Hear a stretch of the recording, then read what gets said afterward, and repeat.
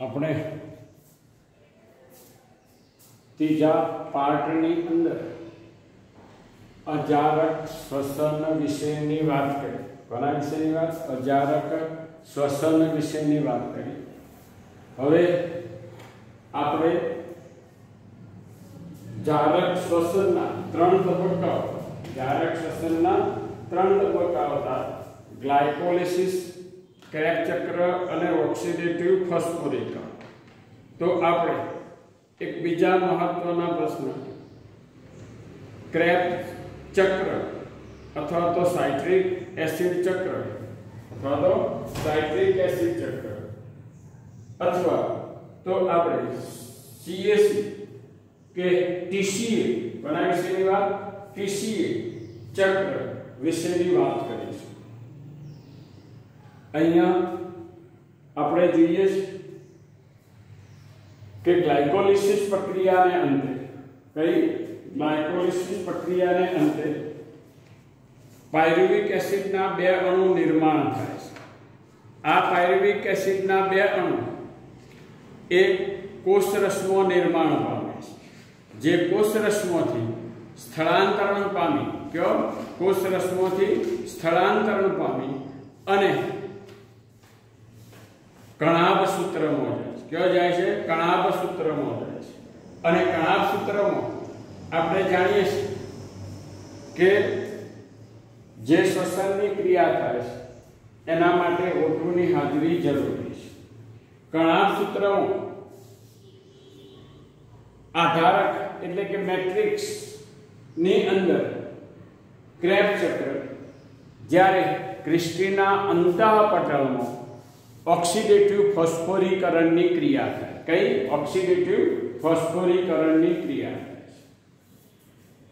કોષ રસમાંથી જ્યારે પાયરુવિક એસિડના બે અણુઓ પ્રસરણ પામીને કણાભ સૂત્રના આધારકમાં જાય તે દરમિયાન બે એટીપી વપરાય છે કેટલી બે એટીપી વપરાય છે આ જ્યારે કણાભ સૂત્રમાં દાખલ થાય ત્યારે કણાભ સૂત્રમાં આવેલા ઉત્સેચકની હાજરીમાં એટલે કે સાઇટ્રોકોમ ઓક્સિડેઝ નામના ઉત્સેચકની હાજરીમાં આ ક્રિયા થાય છે પાયરુવિક એસિડ ઓક્સિડેઝ નામના ઉત્સેચકની મદદથી શું થાય છે પાયરુવિક એસિડનું ઓક્સિડેશન થાય પાયરુવિક એસિડનું ઓક્સિડેશન થતો CO2 છૂટો પડે આ છૂટો પડતો CO2 એ આપણે જોઈએ અને ટ્રાઇસેટ. આ ટ્રાઇસેટ એનએડી સાથે જોડાય. NADH2 માં ફેરવાઈ જાય છે. અને પાયરુવિક એસિડ એ એસેટિક એસિડમાં ફેરવાય. આ એસેટિક એસિડ સાથે સહઉત્સેચક એટલે કે કો એન્ઝાઇમ એ જોડાતો, એ બની જાય છે એસિટાઇલ કો એન્ઝાઇમ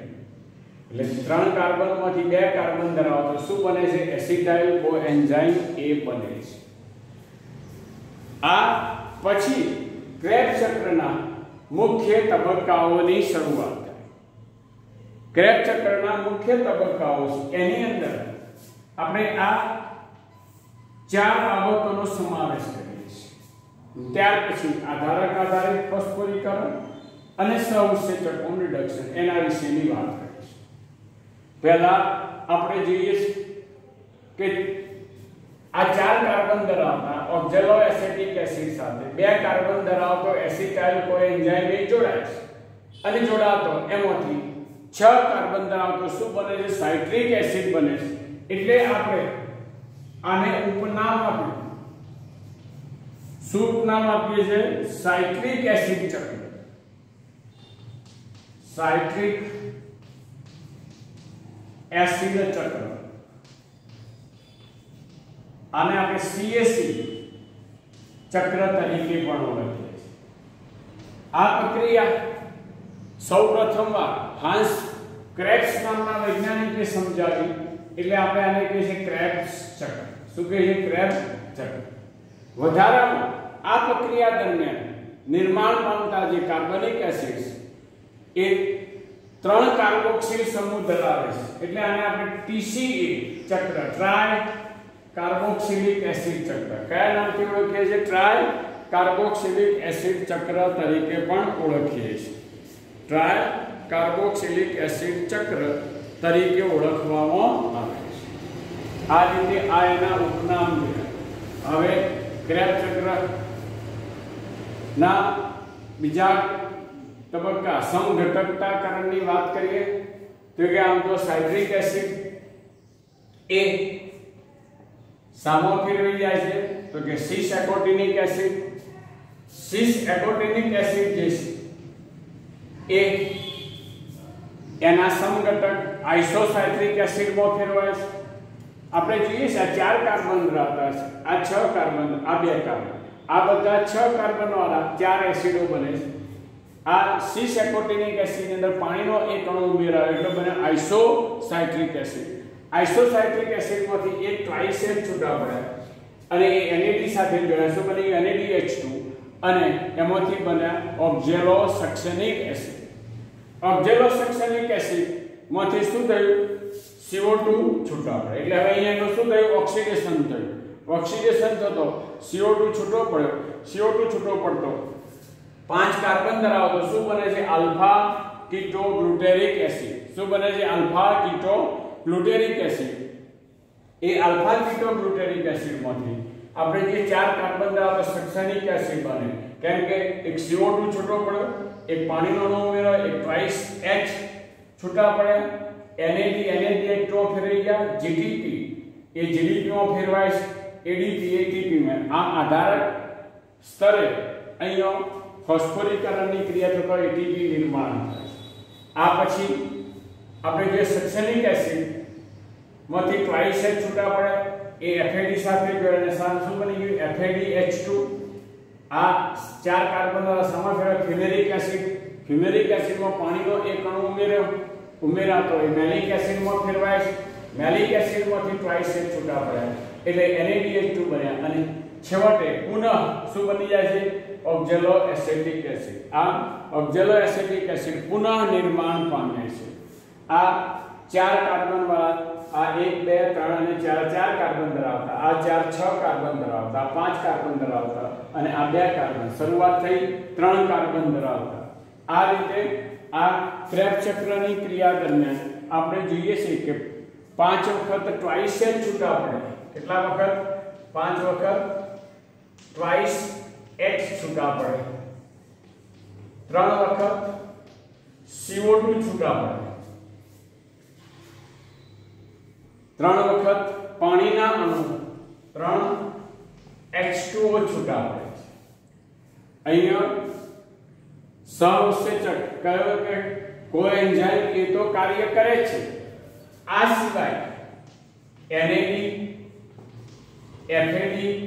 NAD એ NADH2 માં એફએડીએ એ FADH2 માં ફેરવાય છે. અને આ રીતે આ સહઉત્સેચકોનું શું થાય છે?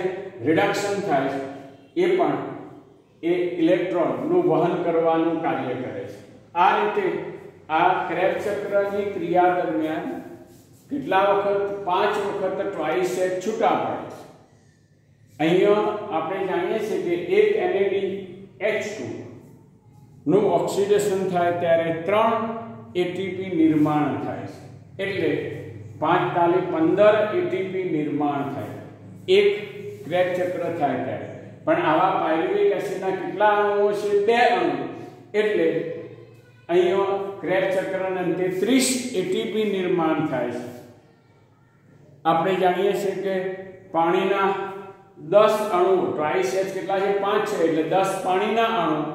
બે ગ્લાયકોલિસિસ પ્રક્રિયા દરમિયાન પાણીના અણુ બન્યા હતા એટલે 10 પાણીના અણુ છૂટા પડે છે અને આ 30 એટીપી નિર્માણનું કાર્ય કઈ આ ક્રેબ ચક્રની ક્રિયા દરમિયાન થાય છે આ ક્રેબ ચક્ર જે છે એ ક્રેબ ચક્ર એ સૌથી વધારે એટીપી સૌથી વધારે એટીપી નું નિર્માણ કરતી પ્રક્રિયા છે આ ક્રેબ ચક્રમાં એક ગ્લુકોઝના અણુઓથી પાયરુવિક એસિડના બે અણુ બનતા હોવાથી ગ્લુકોઝના એક સંપૂર્ણ દહન માટે આવા બે ક્રેબ ચક્રો જરૂરી છે.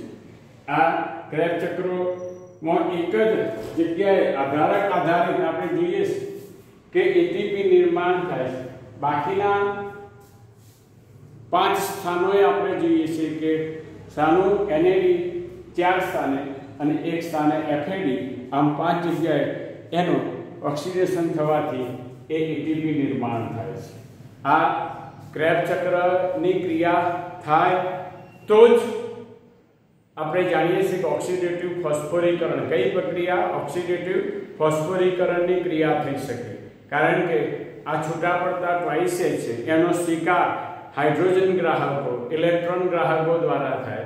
અને તેથી આ ક્રેબ ચક્રની સાથે જ આ ઓક્સિડેટિવ ફોસ્ફોરીકરણની ક્રિયા પણ થાય છે આપણે આ સમજ્યા પછી હવે પછી બીજા પ્રશ્નની અંદર ઓક્સિડેટિવ ફોસ્ફોરીકરણ અથવા તો બીજાણુ પરિવહન તંત્ર વિશેની વાત કરીશું આ ખૂબ મહત્વનો પ્રશ્ન છે આ આપણને પાંચ માર્કના પ્રશ્નો પૂછી શકાય એકલો ચાર્ટ જે છે એ બે માર્ક્સની અંદર પૂછી શકાય આપણને ચોપડીવાળાએ બધા જ નવે નવ કાર્બનિક એસિડના નામ આપ્યા નથી અહીંયા આપણે નવે નવ નામ આપ્યા છે એટલે યાદ રાખવું હોય તો પણ એમ યાદ રાખી શકાય કે આટલેથી શરૂઆત કરીએ આપણે તો કે ઓ એ સી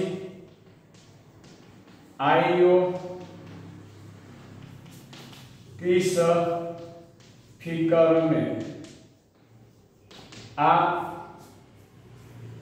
બધા જ એસિડના કાર્બનિક એસિડના નામ આવી જાય છે આની સાથે સાથે આપણે જે છે અંગ્રેજીમાં યાદ રાખો તો પ સી ઓ આલ્ફા સફમનો આ એક વાક્ય દ્વારા પણ યાદ રાખી શકીએ ઓક્ઝેલો એસિડનો ઓ મૂકીએ પીનો પી મૂકીએ એ એસિડાઇલ કોએન્ઝાઇમ આ સાઇટ્રિકનો એસ સિસનો એસ આઇસોનો આઈ ઓક્ઝેલોનો ઓ મૂકીએ અહીંયા આલ્ફા લઈએ એસ એફ એમ અને આ રીતે આ વાક્ય દ્વારા પણ યાદ રાખી શકીએ હવે જે ટીસીએ ચક્રનું મહત્વ શું છે તો કે એ ગ્લુકોઝના દહન માટેનો પથ પૂરો પાડે છે એટીપીના નિર્માણ માટેનો પથ પૂરો પાડે વિવિધ કાર્બનિક એસિડો, કાર્બનિક સંકુલો ના નિર્માણનો ભાગ ભજવે જે વૃદ્ધિ, પ્રજનન, એમિનો એસિડ મેદ કે ક્લોરોફિલના નિર્માણ માટે જવાબદાર છે. આ રીતે આ એક ખૂબ મહત્વના પ્રશ્ન વિશેની વાત ક્રેપ ચક્ર વિશેની વાત આપણે કરી. અસ્તુ.